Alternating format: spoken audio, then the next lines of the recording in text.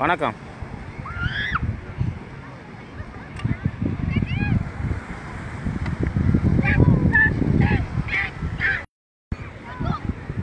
ம்.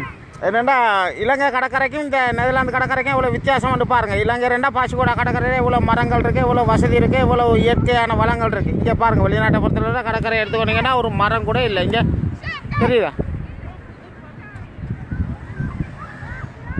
നമ്മുടെ శ్రీలంక തമ്പി ഒരാൾ మళ్ళీ மல்லி మళ్ళీ మే వేగినాము మనిషి మళ్ళీ మే తెవిల పండగండ ఇది அது தான் அப்படி பங்கண்டாவே இவனாட்ட இந்த நாள் வந்து நாங்கள் வந்து சும்மா சந்தோஷமாக இருக்க இவ்வளோ நாள் ஒரே கத்தி கத்தி எல்லாம் தானே.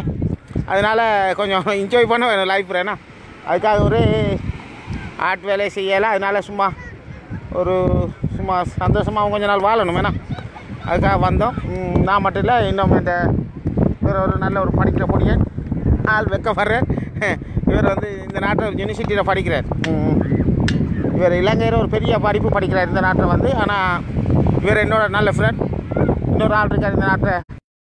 நாட்டை அவர் இலங்கை அரசாங்க அதிகாரி ஒரு ஆள் இந்த நாட்டில் தான் இருக்கார். அவர் இன்றைக்கு வரல இல்லாட்டி அவர் வந்திருப்பார். அப்படி வாழ்க்கை போகுது எங்களோட வாழ்க்கை. எல்லாரும் யோசிக்கிறாங்க ஏதோ இப்போ நோய் வந்து வருத்தம் வந்து படுத்துட்டோன்னு தெரியல கொரோனாண்டு அப்படி ஒன்றும் இல்லை. நல்ல சந்தோஷமாக இருக்கிறோம் இதோ அவர் குளிக்க போகிறார் திரும்பி கடலில். எனக்கு கடல் குளிக்கல எனக்கு கொஞ்சம் குளிராக இருக்குது தண்ணி. நல்ல வெயில் இன்றைக்கு. எல்லோரும் நல்ல ஃபன் எடுத்துக்கொண்டு இருக்கிறோம்.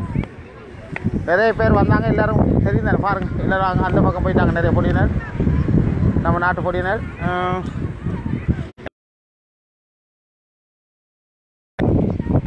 தமிழாக்களும் இருக்கிறாங்க.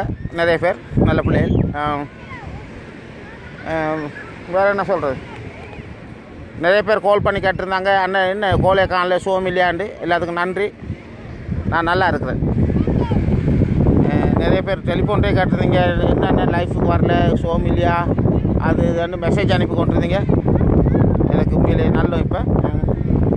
இன்றைக்கி இங்கே வெதர் வந்து அந்த மாதிரி வெதர் உண்டு. இலங்கையில் இருக்கிற வெதர் மாதிரி ஒரு வெதர் பார்த்துருப்பீங்க எல்லாருக்கும்? தெரியும்.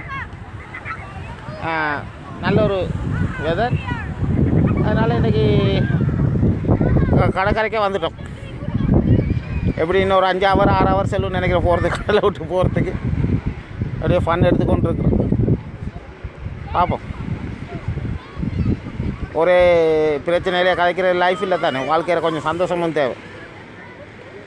சந்தோஷத்தை விட வாழ்க்கையில் எதுவுமே மிஞ்ச போகிறதில்ல லைஃப்பில் நாங்கள் அனுபவிக்கிற சந்தோஷம் மட்டும்தான் எங்களுக்கு மிஞ்சிறது. வேறு ஒன்றுமே மிஞ்ச போகிறதில்ல மற்றதெல்லாம் போய். ஓகே. பாய்.